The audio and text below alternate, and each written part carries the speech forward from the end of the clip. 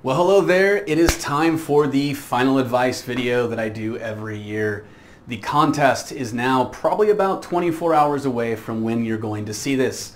So as a tradition, I usually go through this to offer those of you taking the contest a little bit more advice as you head in. So here we go.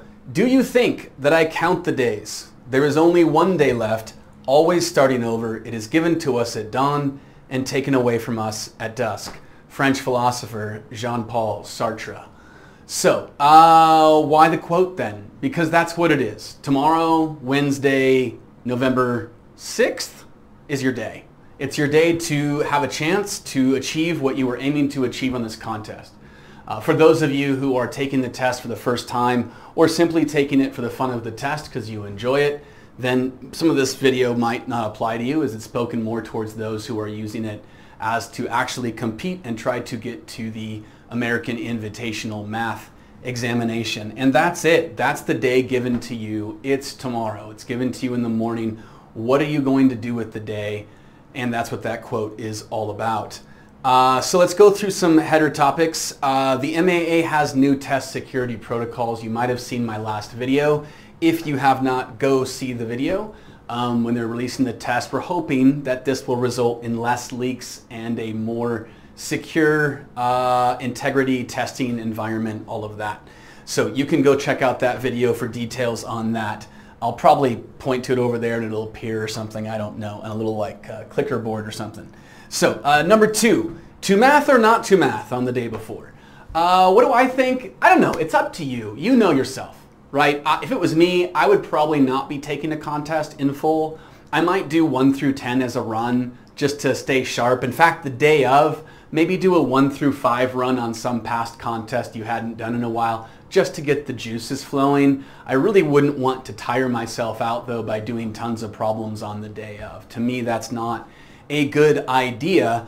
Uh, the day before as well, you're not going to be picking up too much like new knowledge at this time it's usually a time for you to review what you have learned over the last year or the last several years of your preparation.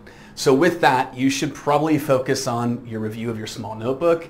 If you keep one of those, if you don't know what they are, uh, there's a video on my channel that explains it called The Small Notebook Justified and Explained. Use the search feature and find it. It's basically a collection of a bunch of key ideas and concepts and things that you could learn that might give you a speed advantage on the test. And you want to really review all of those things to have them saturated in your thought process um, so that when you take the test, all these ideas are recently seen by you, thought about, and you're ready to potentially implement them. Um, I had several classes for this. Some of you have already asked about a, a class to be held in between the A and B test, which would be next Sunday. At this time, there's no plans. If I get enough requests, at least five, I will hold the class. Um, other than that, uh, let's get on to this.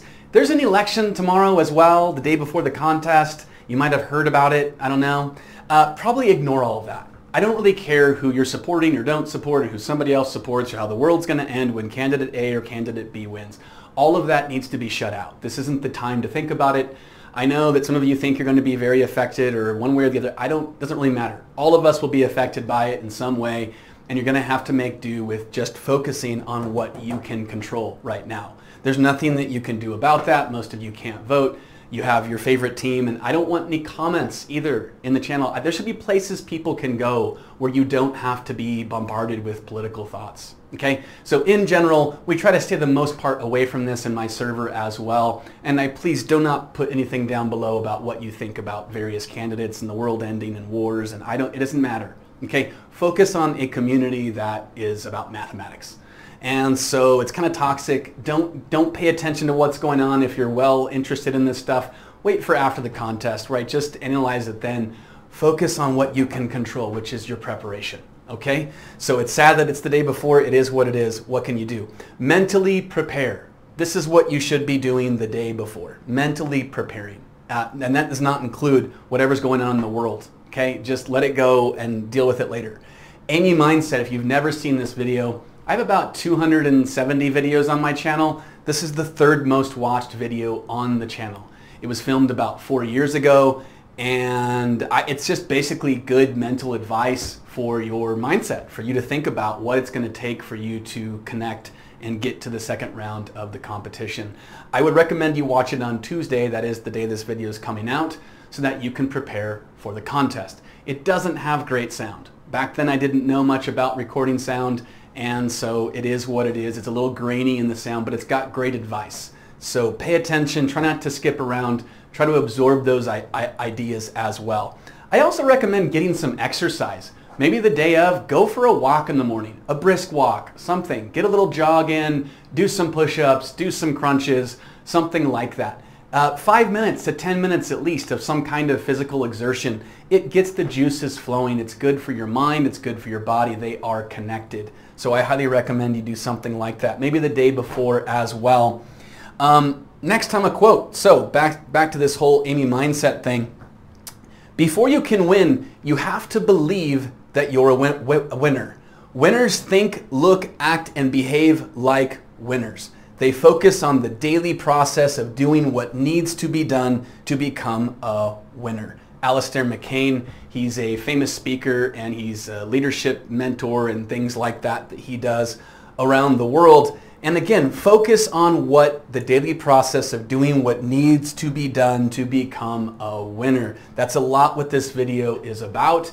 And it's not focusing on things that you can't do anything about and that aren't going to matter right now. What matters is right now, the contest, it's on Wednesday, and you need to prepare for that. So the day of the contest, what should you be doing? This is my advice. This is what I think. You should get eight to nine hours of sleep. Okay, all of you are growing, maturing, you need a little bit more sleep than adults need. Uh, you don't want to be sleepy during the test. You don't want to have that kind of thing. It affects how you can think, how quickly, all of that. So try to go to sleep early. Um, get rid of those, you know, all the thoughts you have, the anxiety and all of that, and make sure you can accomplish this. So small notebook review the day of. If it's me on the day of, I'm going through that thing over and over again constantly because I want to be saturated in the ideas. Okay. Uh, the bring it with you to the, the testing center. Just put it away before the test starts. Do that instead of looking around the room at what everybody else is doing and conversing. Don't do that. Focus. It's game day. Okay. Focus on what you need to do to achieve what you're trying to do. Box breathing. This is something I learned about in the last year. It's basically a way to calm the mind and reduce anxiety. And so it's breathing in through the nose for four seconds, and then you hold it for four seconds, and then you breathe out through the mouth for four seconds, and then you hold that for four seconds, and then you repeat. And it's, it has a, it's been very well known to relax and calm you down, reduce anxiety, reduce stress. So for those of you taking the test, you might have built up, okay, am I going to do it? Am I not? Use something like that before the test, a little bit to calm the nerves down and prepare yourself for what you are about to try to achieve. Okay, so a questions, people ask me this all the time, when should I skip? How long into a problem? It kind of depends. Okay, if it's one to five, problems one to five, and you're a minute and a half in and you're just, you have no idea, you're drawing a blank, just skip. Okay, if it's like six to 10, you're two and a half to three minutes in, probably a little bit too long, just skip. Okay, when you skip, don't think, don't get a negative effect from that. Okay, in fact, I think they put specifically questions to drain the time of students that have too big of an ego and they're not willing to skip. Do I know that for sure? I'm not part of their planning committee. I suspect it. There are certain questions that are very anomalistic. They're very different than other questions that have come up in the past. And uh, if you're not going to skip it, you're going to waste 10 minutes on a problem number 11 because you're stubborn and you don't want to skip. They're probably trying to weed you out. They're probably trying to keep you from getting to the next round because you don't have good control of your emotion or your mindset. And so that's, that's my guess. Okay, I don't know for sure. So uh, in your 11 to 15 problems, 11 to 15 range, maybe skip after three, three and a half minutes, maybe four, something like that. Um, if you get to question 16 and you haven't probably skipped one or two, you might be doing it wrong or you're really smart and you're really fast and you just haven't been tripped up by anything yet. The test to a degree is a test of matchups. Do you match up well with what concepts are before you? You might get a bad matchup. So what? Skip it and go on to the next one. What happens a lot of times is you refuse to skip number five, but you have not done the rest of the test yet. So you know you need to get 10 to 11 to 12 more questions or so to get where you're trying to go. And so now you're trying to do that five with all this pressure to get it done because you know you have a lot more to go in the test. So instead, if you skip it initially and then you move on, go to those questions. Now you've got to question 16 or so. Your brain is more relaxed. You've gotten the majority of the questions you need. You can now go back to that question five, which for whatever reason was giving you trouble and give it another shot at that time. Don't force yourself to do it while you still have all the pent up anxiety of what else you have to accomplish on the test. That's my advice for that. The exact time to skip is different per person, per question, per situation, per test. It's not an exact science. You get a feel for it from having done a lot of past contests and having some experience. So anticipate setbacks, control your reaction you're going to get a question that's a little bit difficult for you. You don't know why. You seem like you should be able to get it. It doesn't seem like it should be that hard, but for whatever reason, you're not. Drop it and move on to the next set question. If you sit there demoralizing yourself and, and attacking yourself, you've just ruined the rest of the test. You can't do that if you're going to be a competitor. You're going to have to roll with the punches and don't give yourself an emotional reaction to that. It's okay. Even the best students will sometimes skip a question or two, or they can't get, even me, I'll do a question sometimes and I can't get it within a certain amount of time. And I've done many years of training, okay? So it, don't feel bad when that happens. Just drop it and move on. Okay, cutoff predictions, I have no idea, right? This is, it's totally a guessing game. Do I think the test will be about the difficulty it was last year? Probably maybe a little harder, maybe a little bit easier. None of us really know. All we're doing is guessing. Okay, so the cutoff last year I think was 105 and 103.5 for the AMC 10. Um, if you want to be absolutely safe, you should probably aim for 16 right and 9 skips. But even that's not safe. It's just a guess. Okay, 16 right and 9 skips is a 109.5. It will probably, but not for sure, qualify you. But you're also going to need to know yourself you need to have a feeling for how difficult the test is. Do I need to answer more or less? And then you also might have different goals. Maybe you're trying to make it to top 1%, DHR, USAMO, JMO, all those kinds of things. Obviously, adjust your targets accordingly. Um, I don't know for the AMC 12, probably a 91.5 will get you there, something like that. It's been good enough in most of the last years, but give or take a few points and have a feel for it just do the best you can. Don't really worry so much about the cutoff. Don't force yourself to answer questions that are beyond your pay, pay grade. And that brings us to guessing. I don't know. Everybody wants to ask me, you know, when should I guess? If I can get it down to two, should I guess? You know, maybe it's up to you. For me personally, I don't want to guess my way to success. I want to get there by my own merit. If you have a different philosophy on that and you would like to guess, I know many students who missed qualifying because they guessed on a question, dropped the 1.5 points they would have gotten for skipping, and then they don't qualify as a result. So for me, I don't like to guess. Either I know or I don't know.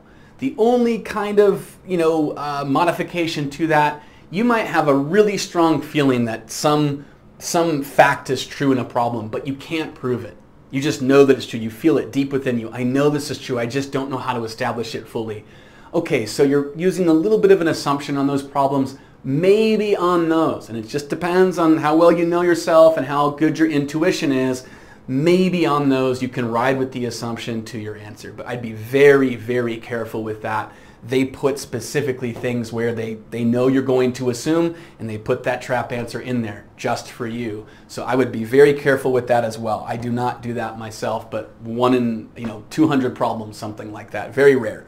Okay, so my solutions. I try to get my solutions out on Thursday morning. They should be released ideally at 5 a.m. Pacific. I don't know for sure they're going to get out at that time. We'll just have to wait and see. It depends on how things go and you know all of that. So uh, if you want to check this channel on Thursday around that time, if everything goes accordingly, I should be able to release my own solutions at that time.